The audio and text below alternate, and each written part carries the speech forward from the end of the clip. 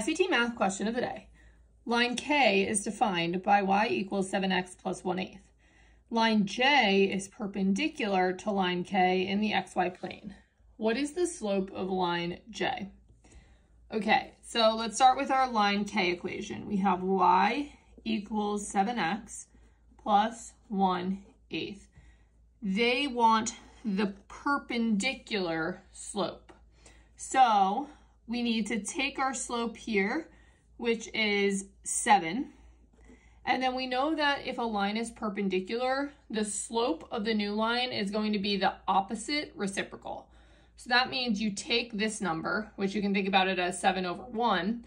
You're going to flip over that fraction, so that'll give you 1 over 7, and then you're going to change the sign. So instead of positive, we're going to say negative.